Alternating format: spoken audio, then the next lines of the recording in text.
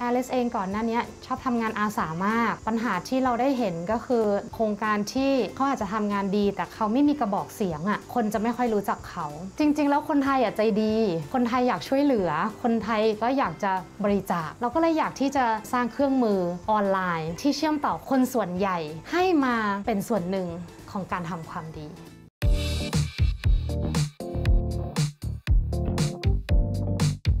สำหรับ Social Giver นะคะ เรามีทั้งเว็บไซต์แล้วก็แอปพลิเคชันนะคะ เราก็จะมีสินค้าและบริการต่างๆ จากธุรกิจใจดีจากทั่วประเทศเลย ไม่ว่าจะเป็นโรงแรม ห้องพักที่ว่าง ที่นั่งในร้านอาหารที่ยังไม่เต็ม ตั๋วที่ยังขายไม่หมด หรือบริการอื่น ๆ และสินค้าอื่นๆอีกมากมายทำให้เราได้ช็อปสินค้าพวกนี้ในราคาพิเศษ แล้วยังได้รู้ด้วยว่าเงิน 100%ของกำไรเลยอะไปช่วยเหลือโครงการเพื่อสังคมเรื่องอะไรบ้าง Social Giver ทำให้การช็อปและช่วยเป็นเรื่องเดียวกัน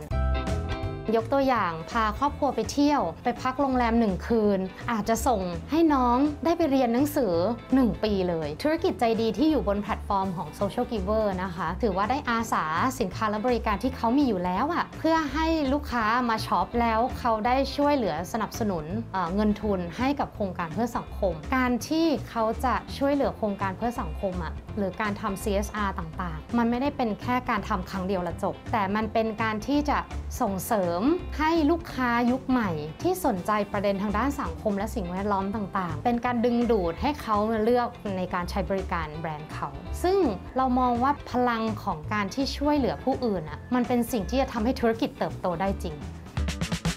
Social Giver มีธุรกิจใจดีเข้าร่วมกับเรามากกว่า 500 แบรนด์แล้วมีลูกค้าหลายหมื่นคน อยากที่จะมาช็อปและช่วยที่ Social Giver โครงการที่เราสนับสนุน จริง ๆ แล้วมีตั้งแต่เรื่องการศึกษา เรื่องสุขภาพ เรื่องผู้หญิง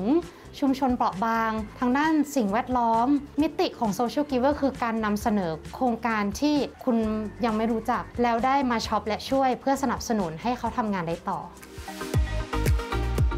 ในอนาคตเราอยากเห็น Social Giver ไปไกลมากกว่าแค่การอยู่ที่ประเทศไทย มันจะดีขนาดไหนอะถ้าเกิดเรามีแพลตฟอร์มนี้ให้ใช้ได้ แล้วได้ช่วยเหลือคนทุกที่บนโลกได้เช่นกัน เรามองว่าทุกคนตอนนี้เป็น global citizen มากขึ้น เพราะว่าปัจจัยหลักของการดำเนินธุรกิจ มันไม่ใช่แค่เป็นการประสบความสำเร็จทางด้านการเงิน แต่ประสบความสำเร็จเพราะเขาเป็นส่วนหนึ่งในการผลักดันให้เห็นความเปลี่ยนแปลง เชิงบวกที่ชัดเจนและจับต้องได้